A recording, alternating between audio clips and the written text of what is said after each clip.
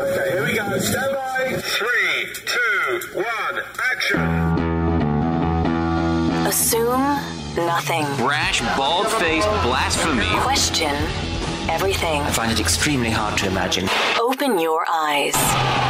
It is quite all right to be an atheist. The fastest growing group of people in the country has been measured as being those who have no belief or who are atheists. You don't have to be apologetic or quiet about it. Challenge the opposition. You see religion on a hundred fronts losing the argument. And start thinking. This is the Thinking Atheist worldwide. And a happy new year to you and to yours. And all my best for 2012. I'm so glad 2011 is behind us. I don't know about you, but it was just a tough, tough, tough year. A lot of wonderful things happened.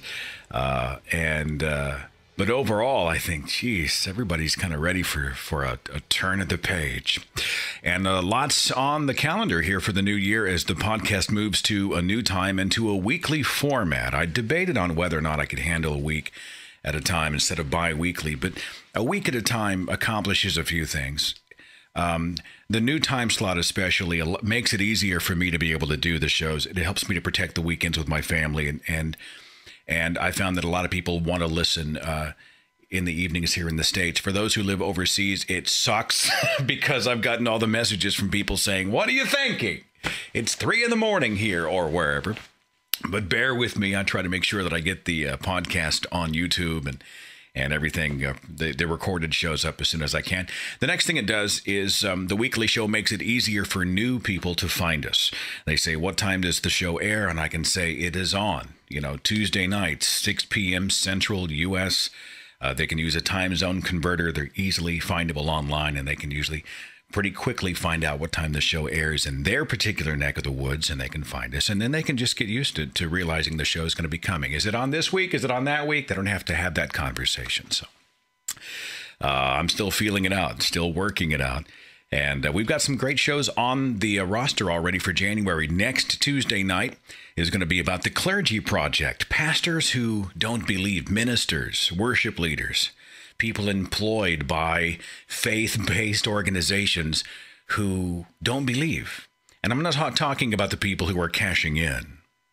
The, the charlatans, right? The snake oil sales, salesmen who just realized Jesus is profitable. These are people who started out in the ministry and then realized, wait a minute, and they started to go through their own path to apostasy, and yet they're still in a pastoral position. They're still a minister. So, what do you do? Well, we talk with Dan Barker next Tuesday night, and we talk to many people. We read letters from many pastors and ex pastors who are in that very situation. I'm a pastor and I don't believe. I've been doing this for 25 years. I don't know how to do anything else. My entire financial future is at stake. What do I do? And uh, we'll connect people with the Clergy Project. We're going to talk after that on the 17th uh, about the National Atheist Party. It's a big election year here in the United States. Uh, can an atheist political party be viable?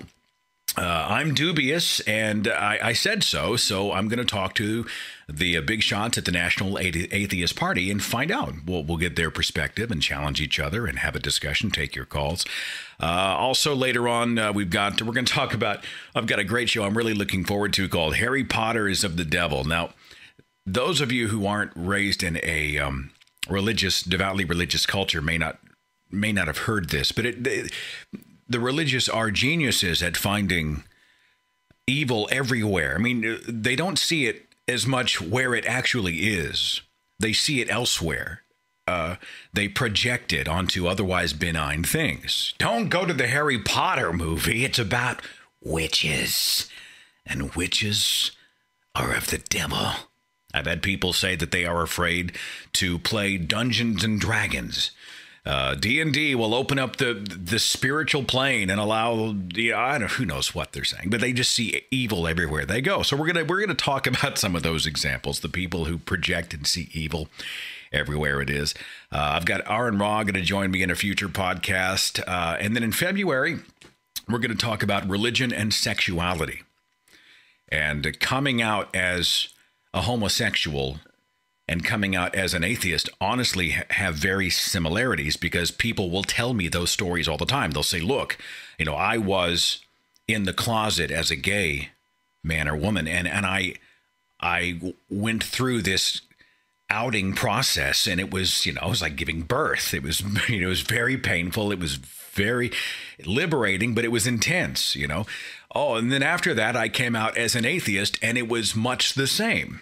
We'll talk about that. We'll talk about how uh, religious cultures and the atheist culture, the atheist mindset approaches human sexuality, what science has to say about it. Anyway, uh, a lot of great shows lined up, and you can also uh, see those and lock into those on the podcast page on my website at thethinkingatheist.com. A very controversial topic today called Help, I'm a Closet Atheist. Let me start with a letter that I received. I'll just read it. It's a little bit long, but it's really, really good. And I think it sets the tone for us here. The letter says When I saw the title of your upcoming show about closet atheists, I knew that I had to write to you and tell you my story because in the closet is the best way to describe my situation. I was actually raised in a non Christian home. My father is what I would call apathetic agnostic. He doesn't know if there's a God, and he doesn't really care. My mother had been to Episcopalian churches at some point in her past and would probably label herself a Christian, but she never gave any real indication of having any strongly held religious beliefs. I was never given any spiritual direction from my family while growing up. As teenagers are wont to do, I screwed up this practically ideal situation badly, although I wouldn't realize it until nearly 20 years later. When I was 14 years old, I fell in with a group of friends that were hardcore Christians. Now, at some point, I became born again. When I went away to college, I started going to an Assemblies of God church in Savannah, Georgia. While there, I got involved in their St. Patrick's Day ministry, which involved at yelling at, I mean, preaching to and witnessing to people who really just wanted to drink beer and enjoy themselves. When things went badly one year, some of the people were spit upon or otherwise assaulted during the street ministry. I started to have doubts about what I believed and why, but I simply chalked this doubt up to the belief that this was a sign we were hitting Satan hard in a great spiritual battle, and this was just him fighting back. If I can digress from the letter for just a second, that so rings true with me. We would be in church services, and they'd have sound or lighting problems with the media or something, or the projector would go out, the pastor would always say, Ah, oh, Satan doesn't like it when you step on his toes. Gotta be the work of the devil. No, it wasn't that the life of your thousand hour bulb was out, was over with, and you needed to replace it. No, it must be Beelzebub. Back to the letter. After college, I came back to my home state of New Jersey. I started going to another Assemblies of God church that seemed to be undergoing something of a revival, and this is where I met my wife, who's the daughter of the pastor of another Assemblies of God church and the sister of the pastor of yet another Assembly of God church. At the time we got married, I was still a devout believer, and I thought I would remain so until I died. After we were married, we wound up going to my father in law's Assemblies of God church somewhere along the way, all that changed. The change didn't happen all at once. But this was a process that took several years. I began to realize that prayer never changed a situation in any way that couldn't be explained by random chance. I realized that I'd never heard the still small voice of God myself.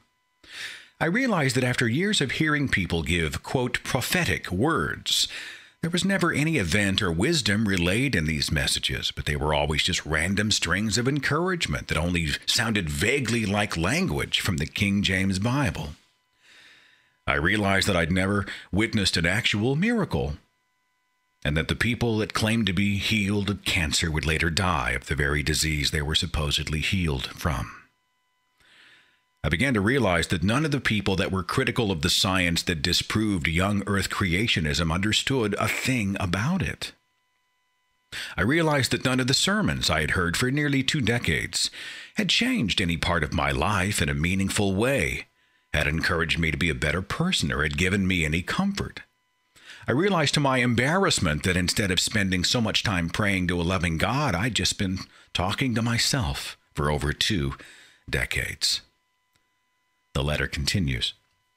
I can't think of one particular moment where it finally sank in that I no longer believed in the God of the Christian Bible. I know that I started to do web searches for phrases like leaving Christianity and began to investigate what people were saying about leaving their faith on the internet.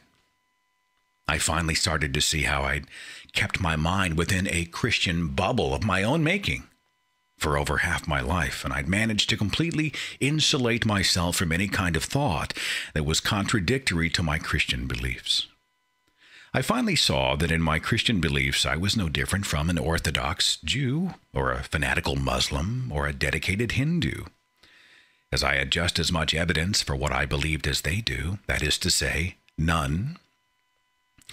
So now I finally broken free of the mental bondage that is fundamentalist Christianity. This leaves just one little problem, which is that my wife and her entire family are either still Assemblies of God pastors or devout believers, and all of the close friends I've had my entire life are still serious Christians.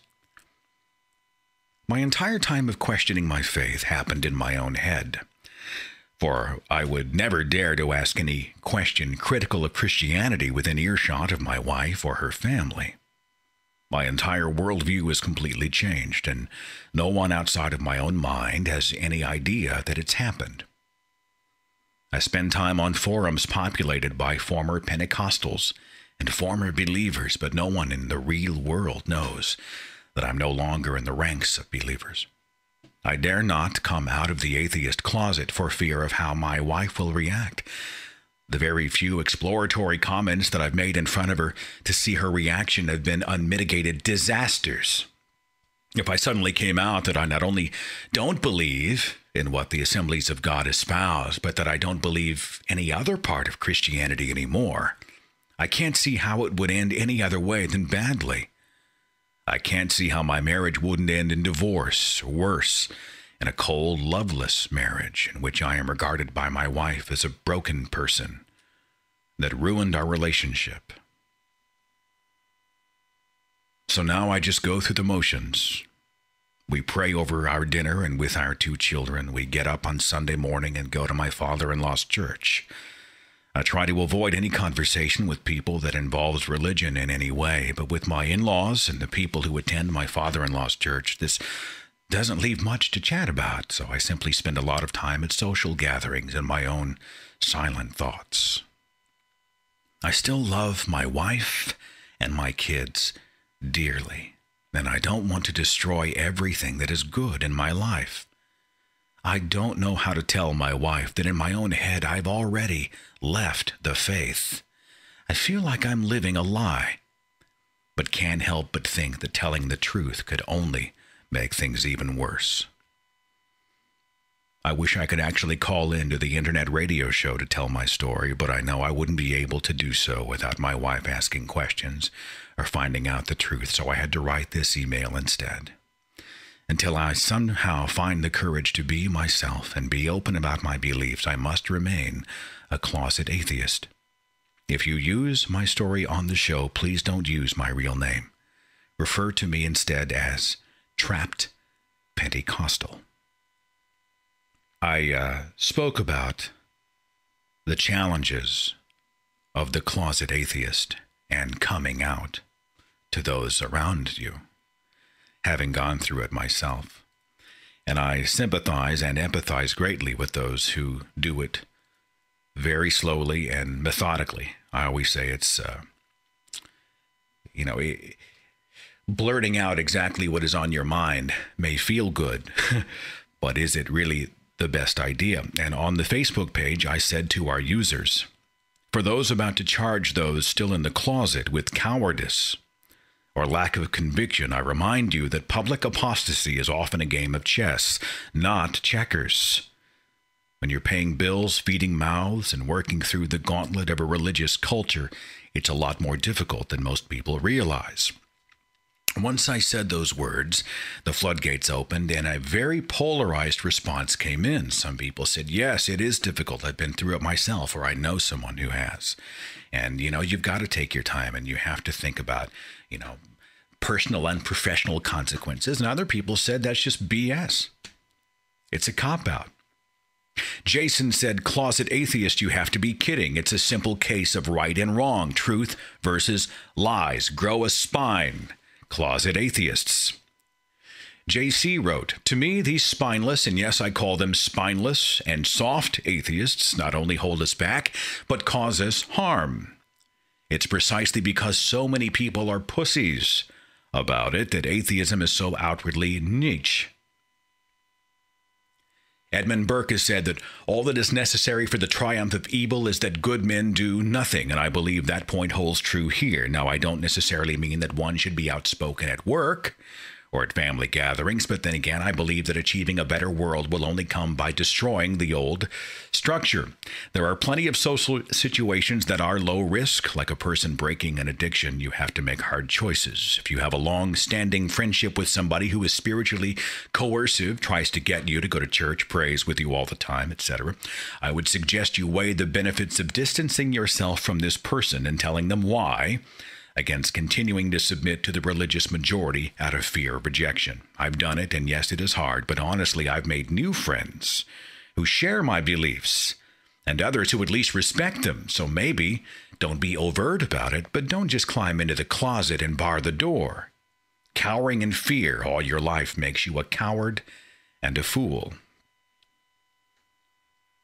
Catherine wrote, I wonder if the Grow a Spine crowd would be so willing to be bold about their atheism if dropped in Iran, Yemen, Pakistan, Sudan, Saudi Arabia, Somalia, Nigeria. Unless you have a death wish, it wouldn't be advisable. I wonder how many in the Grow a Spine crowd have been a street kid with nowhere to go. I agree that when it's possible, there's no imminent physical danger, and there's no threat of being beaten, tortured, homeless, murdered, or lose everything important to you your job, your home, your family that you should be honest about who you are and admit you're an atheist. I'm fortunate to live in a country where it's safe to be who I am and admit my lack of belief without the threat of violence or losing everything. Not everyone is as fortunate. It's a very sticky, complicated topic, and a lot of people want to sound off. Let's go to the phones and talk to Brandon. Brandon, thank you so much for holding. You are on the Thinking Atheist radio podcast. What's up? Hey.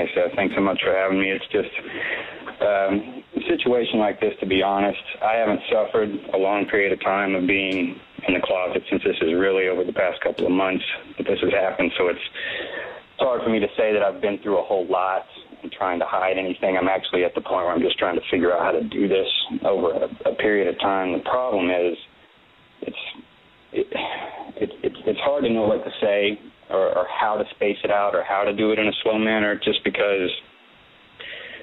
Uh, I'm afraid of what I'm going to find out, basically, from the family and just from friends and everything. I think uh, the, the friends that I have will most of the time will probably be more understanding. I think ultimately the parents would too, but as with anybody, you don't want that. You don't want to have to deal with that initial reaction. But I mean, like like one of the letters you read, I, I understand where the principle of where the guy's coming from, saying, you know, it's kind of gutless to just kind of stay in the closet for so long. But I mean, it's I mean, there's more to it than that. It's it's not as simple as just saying, all right, well, I'm just going to do this and be defiant. I mean, there's relationships and everything attached, as many people know. So, you know, it's kind of hard to know where to start. But I'm actually in.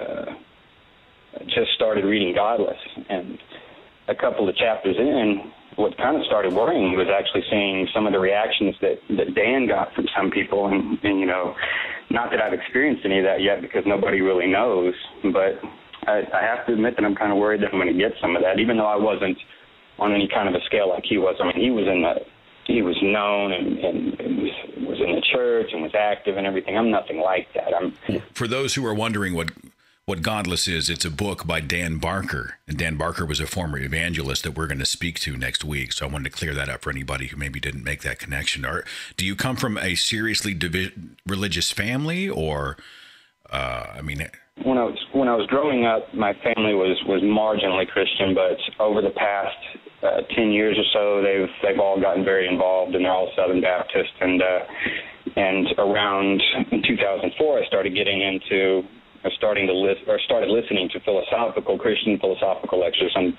kind of see that as a contradiction in terms, Christian philosophy or whatever, but started listening to R.C. Sproul, Greg Bahnsen, and everything like that, and kind of got into it because of that. But I was actually more into the philosophical part of it than I was actually the Christian part of it. But I still, you know, got baptized in '06, and I'm still not sure if the family was even happy with me getting in a, a different denomination than they were. But it, I guess the ironic part of it is, is listening to all those debates and and all of that. I was always rooting for my guy, and I mean, uh, Bahnsen, for instance, was a talented debater, but I mean, once once the other side actually started just saying things and I would have what you said in your Oklahoma speech. I'd have the God glasses on would have to kind of push that stuff to the side and want my guy to win. And I'd always be listening to what he said, but then eventually what everybody else was saying kind of just started sinking in. And it just, the worst part about that is it doesn't matter how good of a debater you are, how much education and how philosophical you think you are. The, the problem with arguing as a Christian philosopher is that you can't stand up to the basics. I mean, you can't get past the Bible parts of it, the contradictions. You have to be able to get past those basics, and those guys never can. There's always something that they miss. And that's eventually what kind of led me to this is just none of the questions were ever fully answered. They were only in parts and and and that's kind of it's kind of where it ended up. And well, let me let me move out of the apologetics of it very quickly and and and the arguments that help change your mind. But as far as you and your culture, your friends are believers. Your family, your coworkers, are you are you afraid to come out, or do you worry that there will be consequences? Far family, consequence-wise, honestly, that my biggest fear is asking the question, well, uh, do you think I'm damned? And I and I, I'm just envisioning that moment and and hoping. Uh, part of me almost never doesn't want to say anything for a while because I mean there's grandparents involved and you know they're they're getting getting up there in age and why should I even try this late to have anything said? But and uh, yeah, I can deal with doing grace over dinner before you know during the holidays or something like that. I can deal with that, but at the same time, it still feels ridiculous when I have them saying things about a situation being a God thing or something. When something good happens, it's always because of that. I feel like I'm not doing anything. But consequence-wise, it's just wondering if they think I'll be going to hell, which I'm not sure they'd be able to look me straight in the face and say. Uh, at work, I'm, I'm not sure I really fear that consequence. Friend-wise, uh, most of my friends I think are believers, but only in the marginal sense. Not uh, some of my friends do go to church on a regular basis, but most don't, and just say they're spiritual and they believe, but they don't think they have to go to church. So consequence-wise, it, it primarily has to do with immediate family more than anything. And, you know, which worries me, and it kind of makes me wonder if I should even do it anytime soon or just kind of let it be gradual. Certainly wouldn't be abrupt. So, like I said, I, I'm, I'm not going through some of the harsh situations that I know a lot of closet atheists have been going through, probably for months, if not years. But you know, I I can only imagine what that's like for some some of them. Well, I appreciate your call very much, and uh, whatever the wherever the road takes you, I, I, wish you the very best, and know that you have literally thousands of people who have your back here. So you are not alone, Brandon. Happy New Year, brother. We'll see you later. Area code 256. Hi, you are on the Thinking Atheist podcast. What is your name? Hi, um, my name is Jack. What do you have for us today? Do you have an opinion on the subject? Yeah, um, I'm a I'm a foreign exchange student from South Korea. You know, it's been it's been like very different culture since I came here from very different culture. You know, and I've experienced like very like very hardcore Christianity in here in Colorado.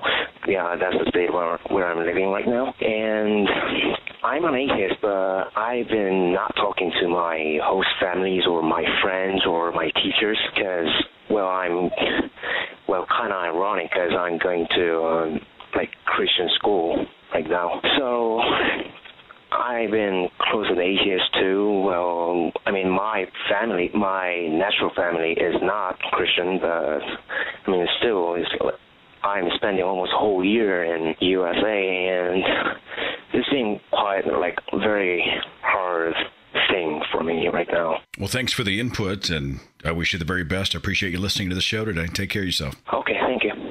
I've got uh, Skype called. A uh, the name is Jack Rabbit Forever. uh, you're on the Thinking Atheist podcast. Hey, Seth. Glad you're calling in. What's up? Uh, well, I'm uh, an ex-Muslim uh, here in Egypt, and uh, I'm having trouble coming out to my family because of if my family is religious, and if they were to know, I might get disowned, or maybe even worse. I don't think they have it in them, but they might move to say we don't want to a non-believer in uh, college. You know what I'm saying? Now, for those who are wondering what the why we're hearing a little bit of an echo on your voice, you have actually altered your voice for this call because you want to disguise your natural speaking voice in case this gets around to someone that you know. Is that accurate? Yeah, I'm sorry about that. I think we can understand you, but you're disguising your voice. Why? What are you What are you worried about? What do you fear? Well, my family are very, you know, sophisticated internet users, and I wouldn't find it surprising if they stumbled upon one of these videos. So it's just a precaution for me. Uh, but uh, here's the thing about Islam: it's just it's really, really, you know, it twists the minds of people who believe in it, uh, so that they think. I actually have a very close personal friend. He's practically my brother, and he actually believes that uh, a guy like Hitler did something good. It's extremely anti-Semitic, although he might not act on it. Just a person saying that just makes you really, really sick. Do you ever wish that you could pack your bags and move to a part of the world where you can just blurt it out loud at the top of your voice? Oh yeah, that's one of my dreams. I actually really want to come over to the uh, U.S., but you know how it is.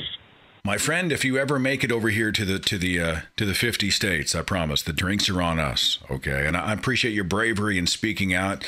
Please know that even though you cannot speak your mind for whatever reasons you have in your local culture, that you are not alone. That people are rejecting superstition and embracing science, reason, and common sense all around the world, and they stand with you, okay? Yeah, thank you. Uh, I've also, you know, found uh, a lot of great, uh, great help on your forum.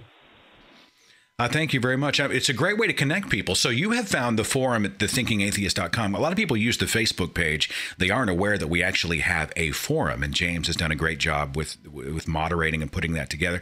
But the forum has really blossomed. It has helped you then to connect with people. Oh yeah, that's uh, it's been a great help. I've been on it almost every day, just discussing with people and just getting it out, off of my chest, even though I don't know these people personally. And Glad you called also, today. Uh, if you don't mind, I'd like to give out a shout out to my YouTube channel. It's called Jackrabbit Forever. I'm currently making videos about how Islam is so irrational and wrong. It's like a view of Islam from an insider. Jack Rabbit, the number four ever, Jack Rabbit Forever on YouTube. I'm guessing your face and real name are not on that channel. They aren't. uh, all right. Well, Happy New Year and uh, all my best to you. Thank you for uh, calling the show. Thanks for taking my call. Take care. Hope everybody was able to understand him. I, I had a couple of guys mention that a, a pitch tune might have been a little easier uh, to understand, but I totally get why he disguised his voice. And I had a call last was it last year from um, uh, he was he was I don't remember what part of the world he was in, but he was deathly afraid of the Muslim Brotherhood, uh, which he feared much more than even the Taliban. And uh, I mean, those guys will jack you up. And he uh, he was very isolated and felt very much alone, and uh, was hungry to connect with other free thinkers. And I, you know, I'm spoiled rotten here in the Midwest of the United States. I mean, sometimes I, I get all pity party and think, ah, geez, this sucks. I got it really bad. No, I'm, I don't. I live, uh, I live in a, a- a country where you can put up the thinkingatheist.com and I am constitutionally protected to do so. Try that in Iran. Try that in other parts of the world. Try that under the uh, umbrella of the Muslim Brotherhood. I think not. It's very, very difficult for so many out there. One more before we read some more email. Let's talk to Drew, who's been on hold for about 30 minutes. Drew, thanks for your patience and welcome to the Thinking Atheist podcast. What's up? Hey, Seth. Um, this is really, uh, you know, interesting for me because I just recently became an atheist. And um, I, I went to a uh, very uh, famous liberal arts college. Um, I live actually live out in Naperville, which is a suburb of Chicago, and I basically I, I credit my college education with just sort of stripping away my lack of faith because my parents are not devoutly religious.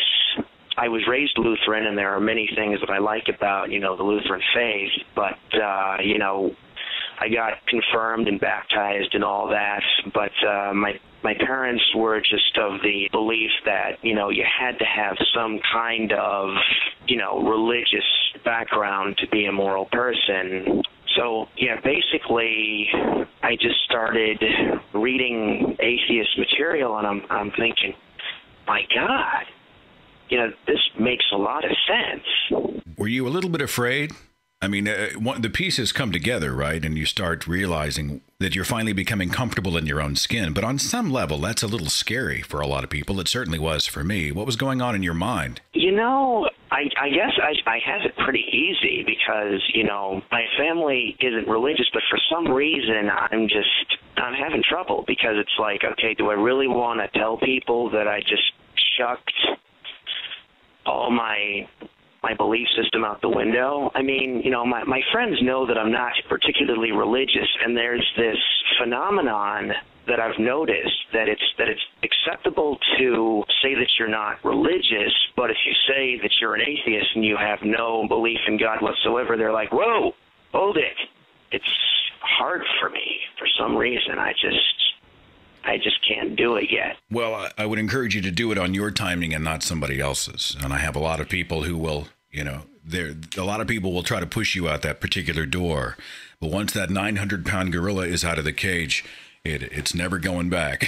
you will never get that back. You know, and it's like my liberal arts education, you know, liberal arts education is like they teach you to question everything and I, I love looking at things logically. I just I love things that make sense, and I just realized religion does not make any sense. I will tell you when the time comes for you to just shout it out wherever, whenever, however that happens.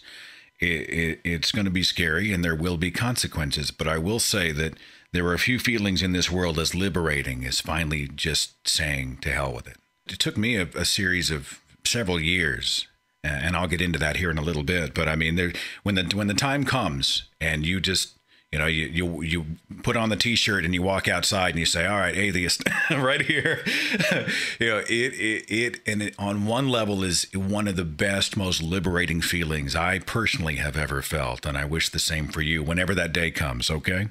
Oh yeah, I mean, I'm I'm gaining you know a lot of confidence just you know talking to you. I mean, I I lost my uh, grandmother and I've, I've stopped invoking God. I didn't say I'll see you in heaven. I just said farewell, goodbye. You know, because I know that I'll have memories with her, and I know she's gone and she's just not coming back.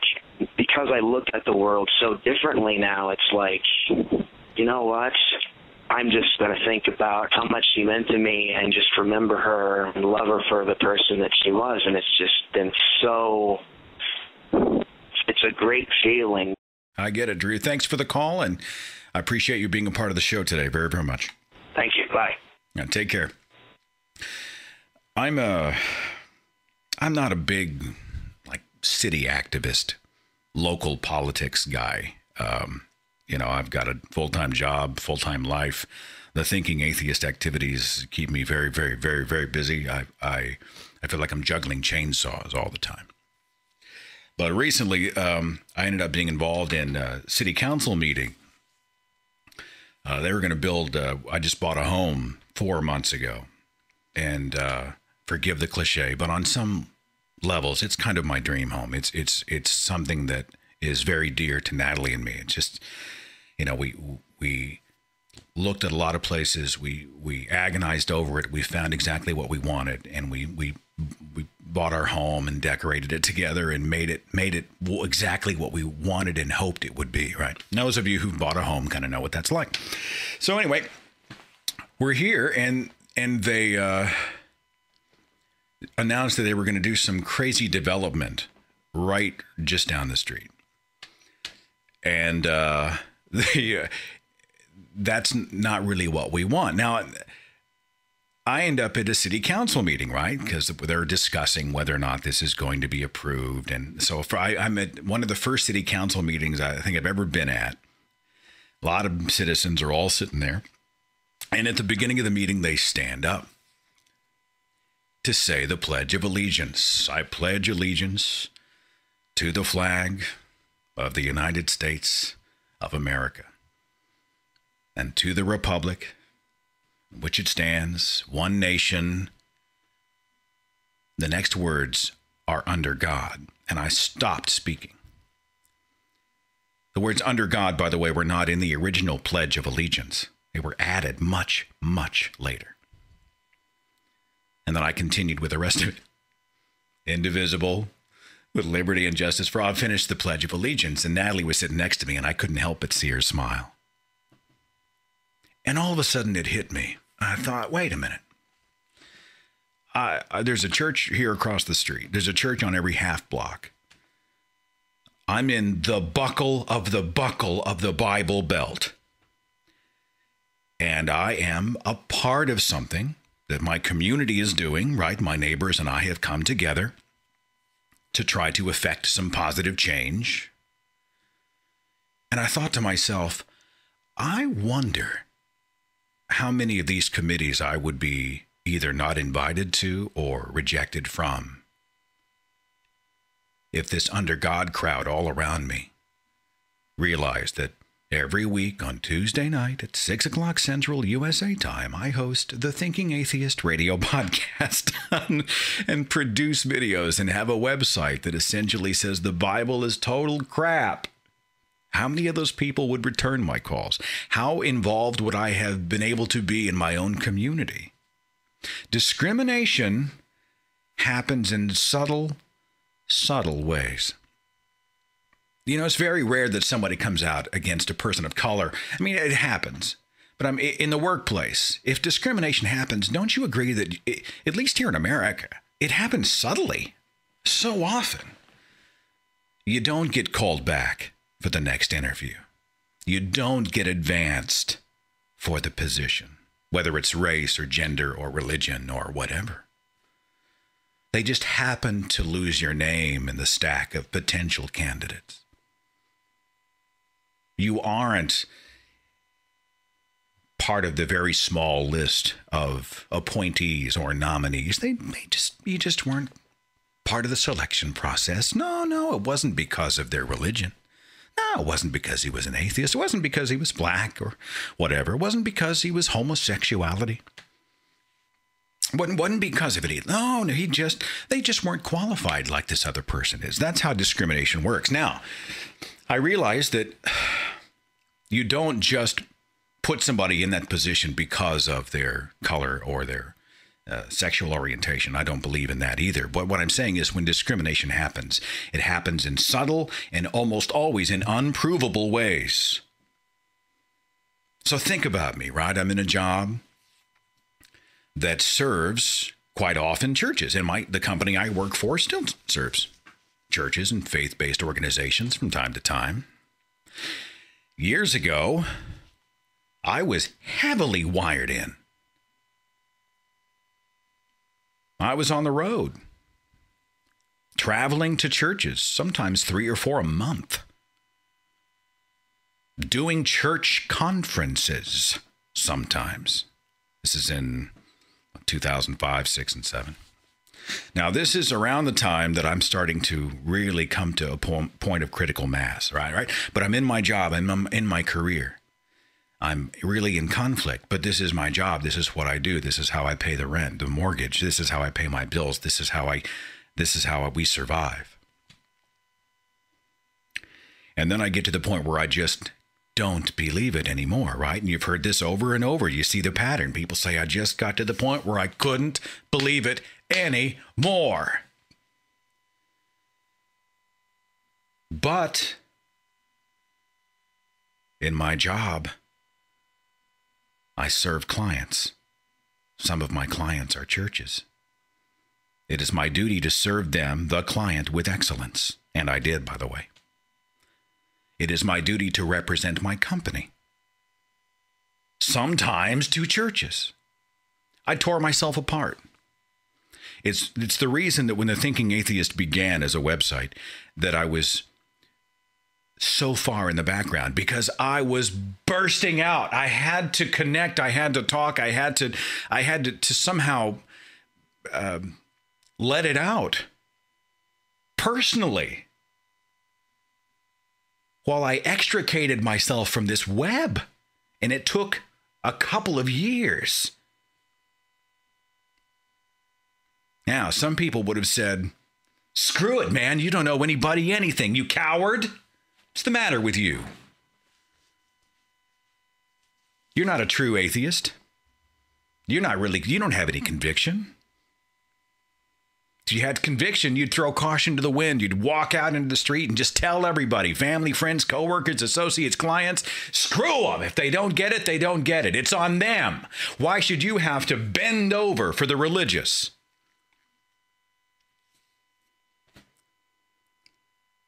But for me, it wasn't that simple.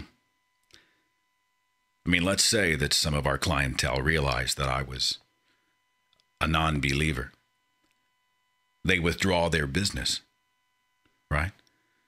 Legal, illegal, whatever. The, for some reason, whoever it is, is a person of faith, and they, on a moral position platform, withdraw. They just pull their money. They didn't just punish me, they punished every single employee of that business and the ownership. They affect their lives, their incomes, their livelihoods, the profitability, the viability of the entire company is affected. I am not an island unto myself. What happens if, for some reason, I become a liability to the company? I don't know. I, I was in virgin territory. I had no idea what to expect. I'm very fortunate that they've stood by me, by the way. Very fortunate. The ownership has, has stood by me, no matter how difficult it has been. And it has been difficult. They are true believers. They've stuck by me. They believe, and, and I so appreciate this, that people died to give them the freedom to be able to practice their religion.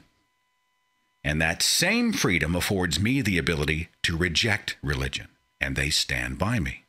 But I'll tell you,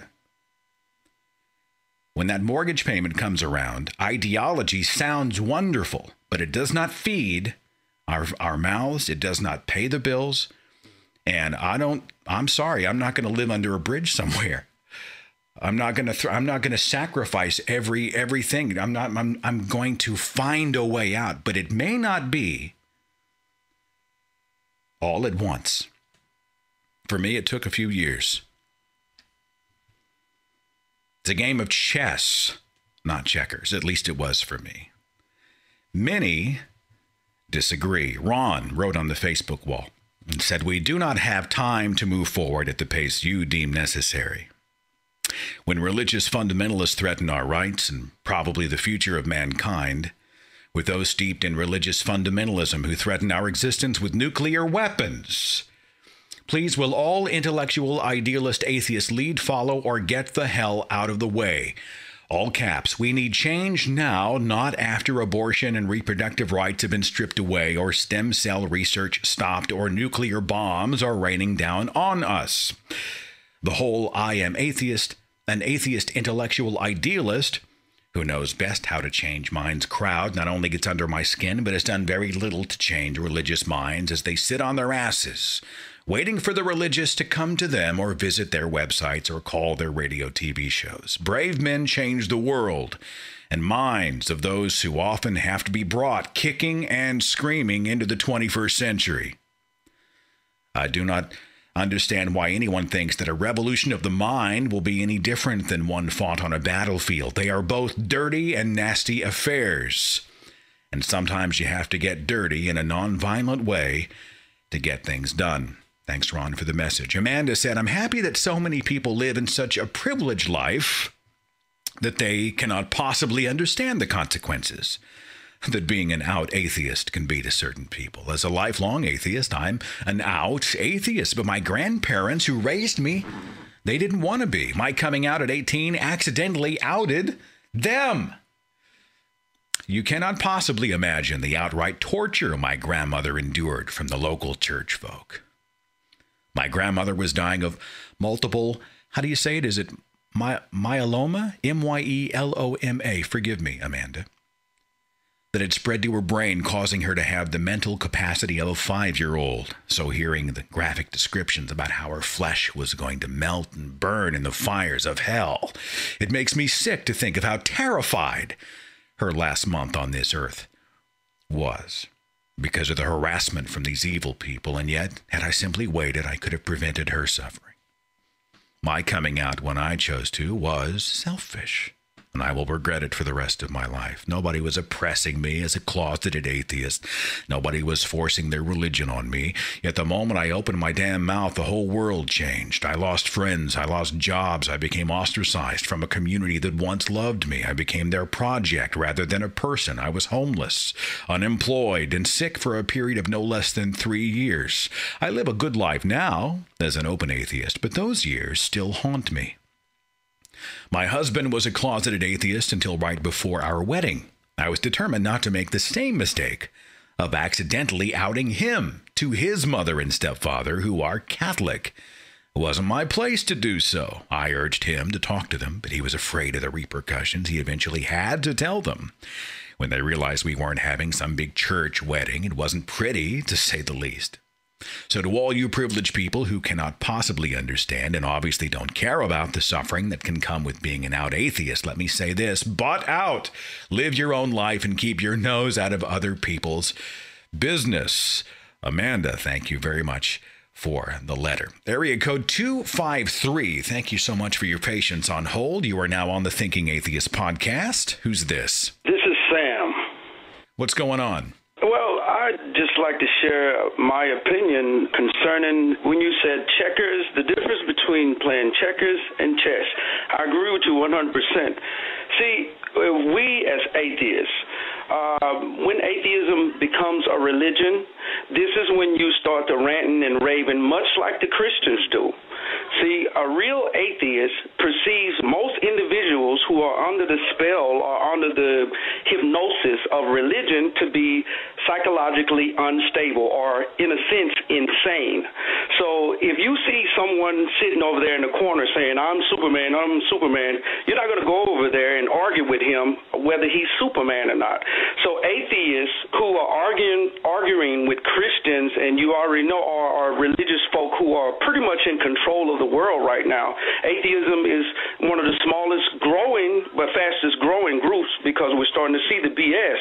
But to argue, just like you say, and put everything in jeopardy, no, I think being uh, quote unquote closet atheist is actually an advantage because you can manipulate. Uh, it's pretty much, excuse the term, the devil's playground, and you can use this to your advantage to get wealth, prosperity, and power. You do not have to be religious about it. And I think that's, I just want to share that when, when atheists get to the point where they're arguing and, and no, we got to go out there and we got to stop this and bombs are going to blow up, pretty much atheism have became a religion for them. Let me see if I get you. I mean, I honestly believe that if no one ever says anything, then no one says anything. We, we do have to go out and engage the culture. Uh, I think we do have to go out and debunk because as Michael Shermer says, there's a lot of bunk out there. I think you have to choose those battles. Sometimes you're just talking to yourself. When the religious put on the mannequin smile, you realize that no conversation is taking place. I understand that. But what you're saying is what? You you, you go into stealth mode, play by the religious rules, and then in a clandestine way create corruption. I mean, to the point of, to the to this point, you can de demolish Christianity, demolish Islam, just like the guy with the videos. You can demolish the, the idiocy of it. As you can see, the fabric of religion is falling apart right now today, mainly because of the individuals who had their pot, their hand in the deep parts of the pockets of religion, like ministers who are stepping, stepping off the podiums, imams who are stepping off the podiums. These are that are really destroying religion right now. So it, it, it just shows that if you do it covertly, because just just like someone who is insane, you can't talk logic to them. You have to talk indirectly to their subconscious mind to get something accomplished. So What- what are I'm you just telling me saying to do? it, but do it covertly. Are you telling me that I, I or someone like me should go and get a minister position and effect change from inside the church? No, but I am telling you that you should teach a couple of ministers. By all means, you should have a couple of ministers in Islam, in Christianity, and other religions teaching under you covertly and indirectly teaching individuals the truth. Because believe it or not, when a person get on the podium and they put on that collar, they can tell you anything and people will believe it. That's how religion pretty much works. So you should have a crew of individuals. If you really want to destroy religion, you must do it covertly because religion works in subconscious covert measures. That's how they get people to blow themselves up. They've mentally covertly suggested it to them. So you can do the same thing to undo that idiocy. That's it. That's an interesting perspective, man. Thanks for the call. Thanks for waiting so long, too. I appreciate it very much. Why approach an honest subject dishonestly? We are pursuing truth. We should probably speak about it truthfully. And I'm not convinced that we should play by the rules of any religion to do so. We need to be acting to make sure that our families are protected and whatnot as we come out. But in presenting our message, I don't know that I agree. I, I don't know. I'd, I'd be curious. I'm sure we're going to hear about this one on the comment section. it's a, that's a sticky one. Area code 503. You are on the Thinking Atheist podcast. Who's this? This is Camille. Glad you're calling, Camille. What's up? I'm a full time nanny, and you know, I have to tell you, the first thing that I say is we don't do a lot of religion around here. and when I'm interviewing new families, Well, wait a minute. No, so uh, if you're a nanny, then would a would a, a a parent expect you to what say bedtime prayers with their kids or mealtime prayers? Is that the kind of thing you're trying to nip in the bud, or what? right away, it's like the first thing we say. We don't do Santa, we don't do Jesus, we don't do religion around here. And what kind of reaction do you get? It varied, even for my Christian clients.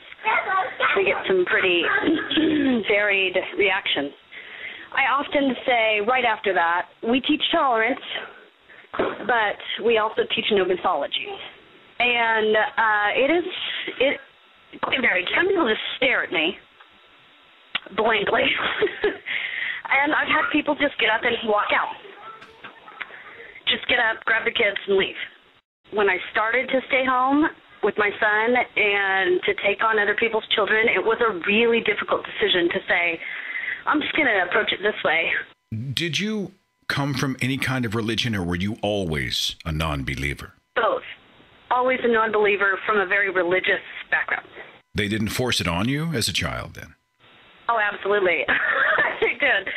I just can remember very clearly, a very early, thinking uh, to myself, "This is uh, really unusual. This is strange." I mean, I went to the church where people spoke in tongues, and it was very fun to dance and sing and have a good time. I'm a real dancey, singing kind of person.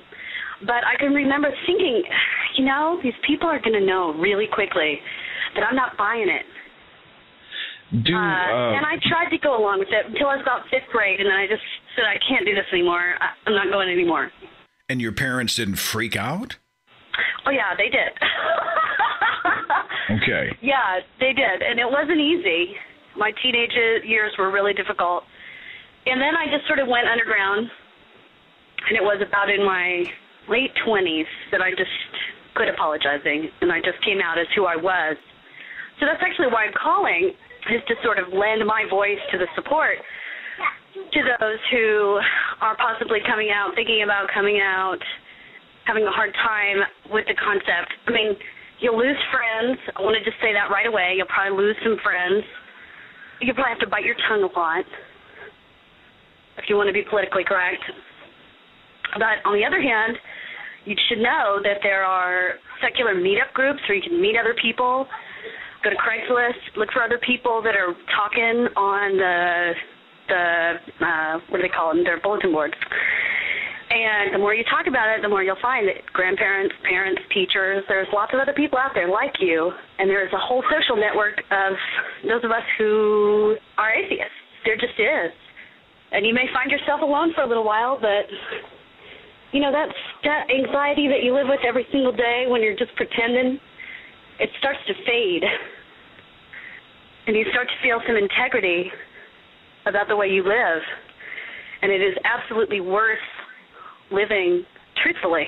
There was no feeling for me like just coming out and saying, oh, geez, I don't have to do the tap dance anymore. I get to live in my own skin. Yes, it's difficult, but it was so liberating. Even now, when I catch hell from you know, family, friends, whatever, if they give me that condescending look or they pray extra loud at the meal, or I or I get some, you know, I, I got an email from a theist uh, uh, not long ago praying everything I touch will fail, praying God's curse upon me, whatever that is. You know, every despite all of those those things, I find myself really happy, really happy. Has the same been true for you? Feel like um, I've touched a chord when that happens. I actually recently lost a whole mommies group that I used to go and see regularly. And uh, the main reason was because I called out a theist who was telling me all the time that I was missing something in my life. And I was feeling a little forked tongue. I was feeling a little snappy that day. And I just looked her straight in the face and said, I'm just not psychotic. I just I can't do it, and I can't split my brain in half and be pretend to do it. So if you're religious, that's fine. You can be that way. I refuse to teach my children mythology and fantasy or fear of an entity instead of moral dignity. and I haven't heard from those ladies since. have a nice day. I have a whole lot. Right, exactly. I pretty much packed up and knew I wasn't coming back. But you know, I do. I have a whole new group of friends now that I met up through Meetup. And I, of course, I live in a very liberal area. Uh, 503 is uh, Oregon, you know, we're a bunch of hippies out here. So real, real, fast though, I mean, I've got to move on in just a second, but give me your perspective. Then you live in a, I mean, you don't live in the buckle of the Bible Belt like some of us do, but what's your perspective if someone is taking their time or or saying nothing outside of their little box? Let's say they have not yet come out. Are they cowards? Are are they not committed, or is there something I'm missing? What's your perspective? You know, the way I look at it is, I can I can remember, like I said, I can remember clearly at about 10 thinking these people are going to know that I'm frauds. They're, they're going to know that I don't believe this and that I'm a fraud and that I'm just pretending. And I can't be the only one that thought that. I can't be the only one that thinks that. The way I look at it is I don't judge those people. I happen to have the fortitude and the guts and some people just don't. And I don't think that that is necessarily something that you should hold against people.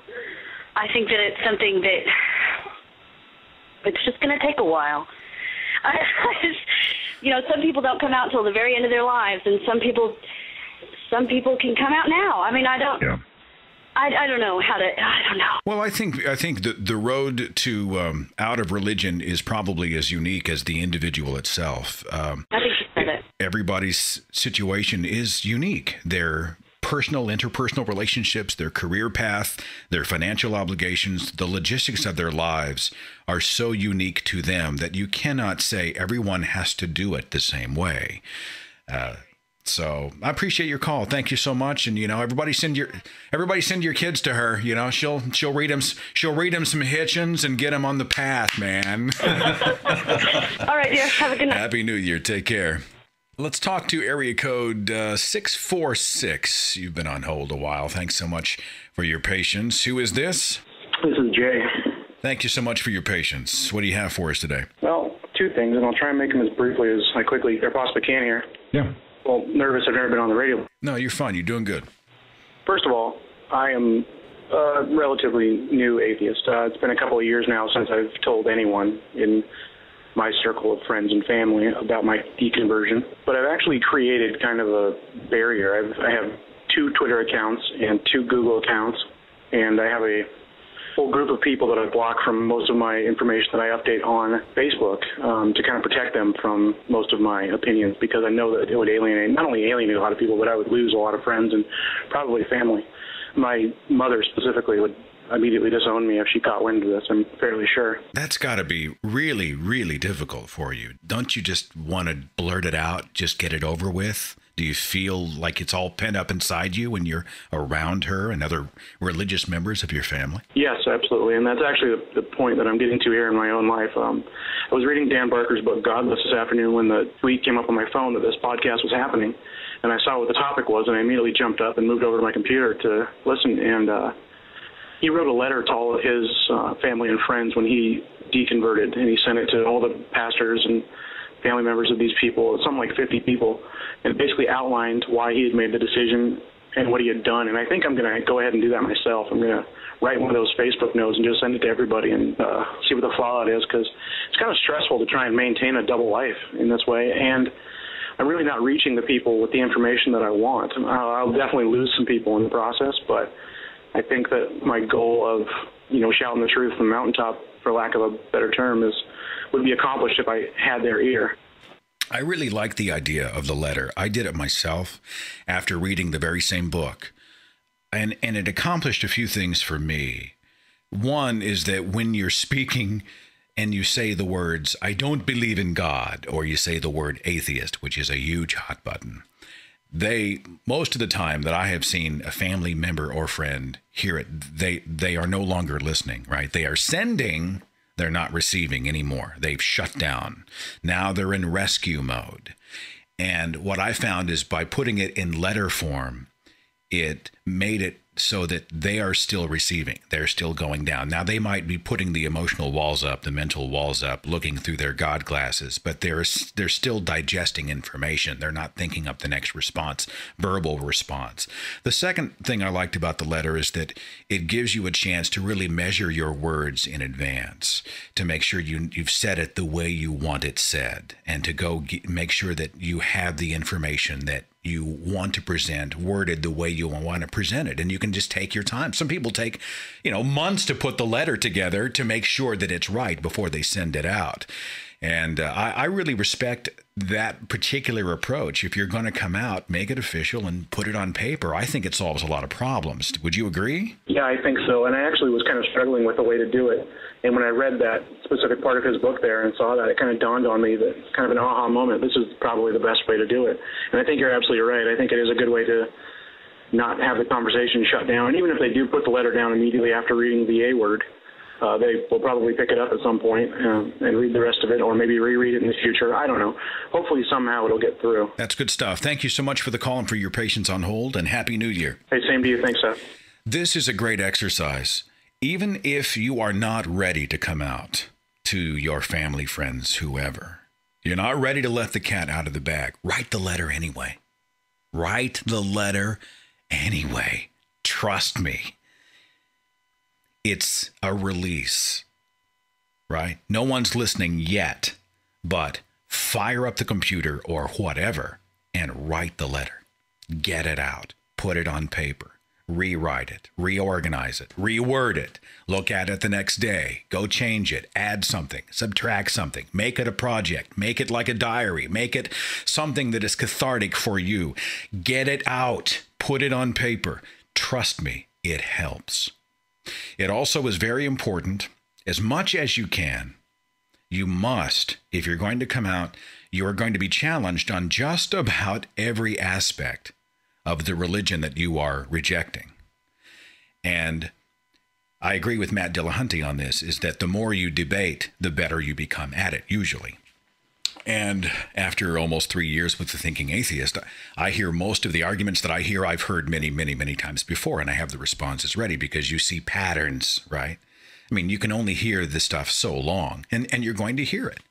How can you be moral without without the Bible, without without the Ten Commandments?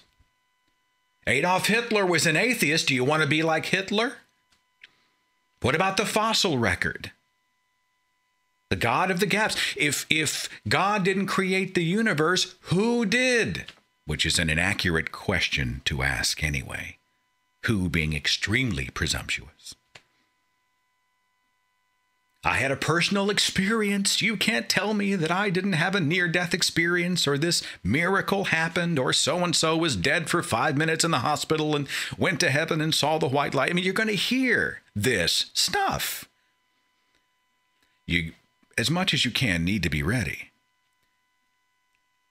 And that means education. That means you are learning what the arguments are and what the counters to them are. And a Google search will go a long, long way. And there are great, I've got links on my website at thethinkingatheist.com. Go to the resources tab and you'll see the Skeptic's Annotated Bible and you'll see a bunch of other um, links. And, and you can just Google search top creationist arguments, top religious arguments, top theist arguments, and rebuttals. You can get a Talk Origins. They've got some great resources there. But this is the moment when I think be a sponge, soak it up, be ready. They won't be changed. Your mind, their mind will not be changed by whatever you respond with. But what I'm saying is, with a measured tone, without a raised voice, if you can help it, when they come at you with, how can you be moral without God? if you were able to provide examples that morality exists in nature and actually the Ten Commandments are not really about morality to begin with, and the Bible is rife with immorality and atrocity and bloodthirstiness and monstrous acts, and here are specific examples. The God of the Old Testament and the New Testament should not be emulated or followed, and here's why. Because he endorses incest and rape and the killing of infants and you know, the stoning for having sex before having married, you know, assassination for picking up sticks on the Sabbath because it's filled with all these outrageous things that no one can believe in. Stuff that would be outrageous if you read it in a Harry Potter book, you'd never buy it, but in the Bible, people believe it. I mean, this is the time where we have to buttress our own arguments, get educated. And that comes with conversations, debating. Get online, practice debate with some other people. Make it an exercise. And just be ready education has been the problem to begin with, right? The, the lack of education was huge for me. Remember that soundbite from Christopher Hitchens? I included it in my tribute video when he was talking to Sean Hannity on Fox News. And I'm paraphrasing, but he said this priceless line priceless line, and it totally summed up exactly what the problem is. He looked at Sean and he said, Forgive me for saying this, but you give the impression of someone who has never read any of the arguments against your position ever. Yes, exactly. It's a culture of people who have read their holy books and know nothing about the writings of evolutionary biologists or cosmologists they know nothing about the fossil record. They know nothing about the, the human genome. They know nothing about even their own history. Education. Education. Going through my own journey rejecting the faith, I remember I wrote a bunch of notes made a bunch of lists and I had a paper trail. You should have seen my office. It was crazy. It looked like a bomb, a paper bomb went off. Highlight stuff. I oh, it was like an OCD thing. I had stuff stapled everywhere. I had stuff on the walls. I had I had notes, I had books. It was crazy. And I kept all the information and eventually organized it and was able to incorporate it into the Thinking Atheist website, hopefully to make it easier for other people. And then write the letter. Put it on paper. Trust me, it's going to feel really, really good. Area code 678. You are on the Thinking Atheist podcast. Who's this? This is Dante. Dante, thank you for calling. What's up? Well, I find that um, myself personally, I started having questions around 12. And my mother, uh, I grew up in the Church of God in Christ Pentecostal Church and she took me to the minister because my mother, born in 1934, didn't know anything but religion. And she took me to the minister, and the minister told me, it is the way it is because God made it that way, and don't you ever question it.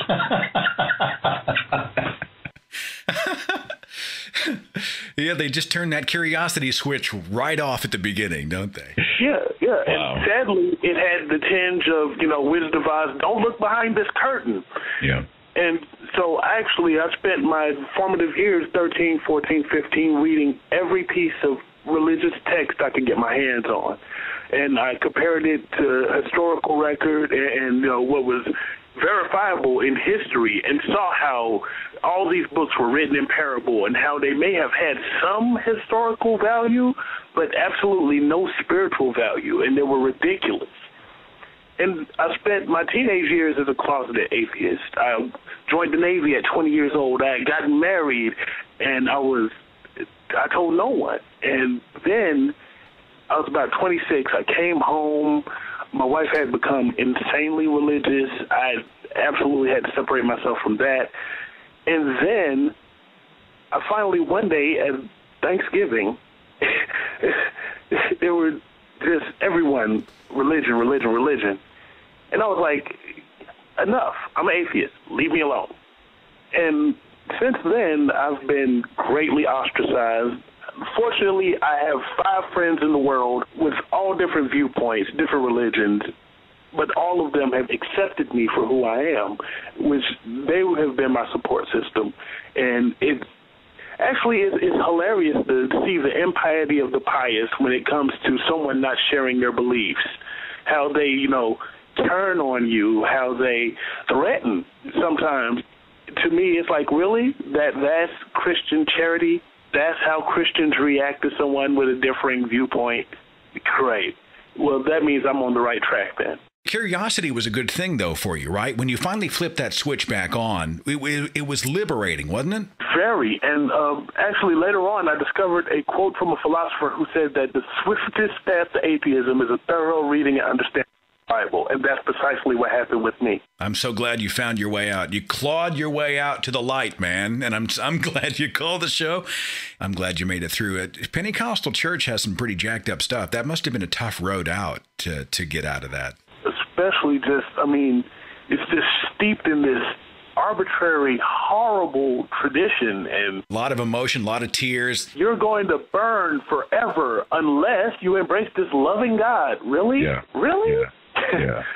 Dante, thank you so much for the call. Thanks for your service, by the way, in, in, the, in the Navy. How many years did you serve? Uh, five years active duty and another three Army National Guard.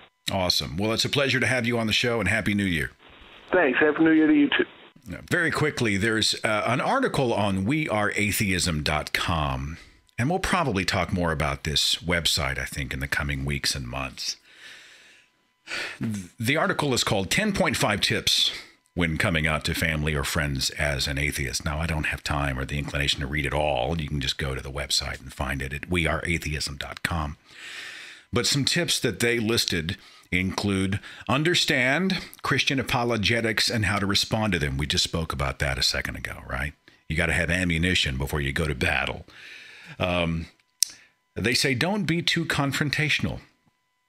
Remember where they're coming from and help them to understand where you're coming from. Trying to win the debate won't convert them. I agree. But right now, when you come out, you are just presenting your opinion. And you're going to want to resist the desire to get into a debate, which is what they're they're they're in rescue mode. So you're going to have to say, "Look, just listen, please. Hear me out." The article says to actively listen. Don't just sit there and nod your head. Make eye contact. Repeat the questions. Make sure that understanding has occurred. Don't use personal examples. I'm not sure what they mean here, so let me read this paragraph outright. It says, Make sure to stick to discussing your atheism. Do not bring up past experiences in the family or that someone was a bad parent. Nor should they use sexual trauma, drug addiction, or abuse as your excuse for being an atheist that you are just mad at God. Remember to be rational and show them that you have reasoned your way to atheism. So I think what it's saying is don't use personal examples of how you came to apostasy. Uh, go ahead and use those, but don't don't air the dirty laundry of everything the family has been through situationally as an excuse. Um, be prepared to walk away. Uh, come back when cooler heads prevail. The article says, give it time. As much as it may hurt, some people in your life may need a little more time to process the information. Uh, it's been years on my end, and it's still going on. We'll see what happens. Agree on parameters of the conversation. Good luck with that one, by the way. The article says, talking over food is easier. Sometimes it's easier to have the conversation over a meal. Now, this may mean you're trapped, right? If, you, if you're sitting over dinner, it's not like you can go by. I mean, I guess you can, but it just looks worse. But, uh, you know, relax over a glass of wine. Relax. Talk about it. Be a proud atheist, the article says. Don't act ashamed. Make sure your body language is open.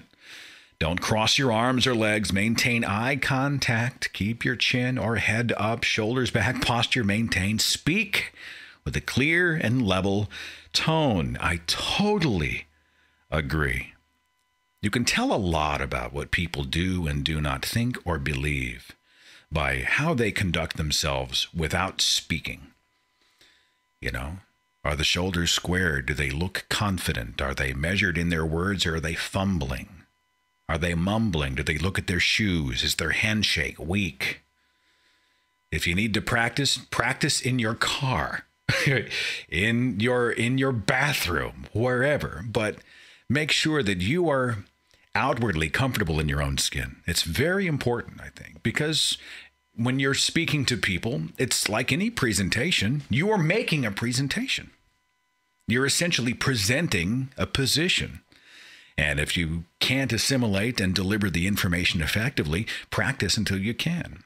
If you don't have confidence with the material, learn and educate yourself and rehearse and just figure it out until you are. It's going to be hard anyway to slice it, but trust me, it's worth it. It may take years. It did me. But there's there's a way.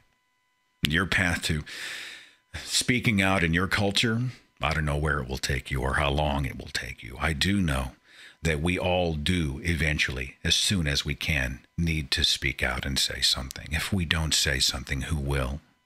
Religion is everywhere the city council meeting I was at the other night, right there on the wall in the middle of the city council hall. It says, In God we trust. Oh, it's part of our political history. It's part of our. It's part of our culture.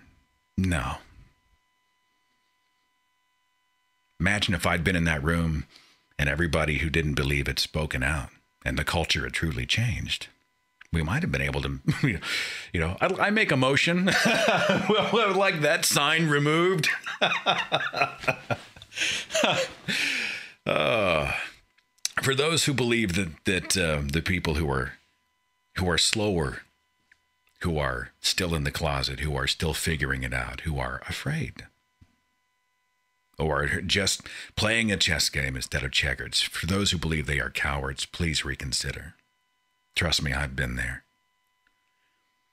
And when anyone uh, thinks that, that I was a fake or a fraud, I hope not.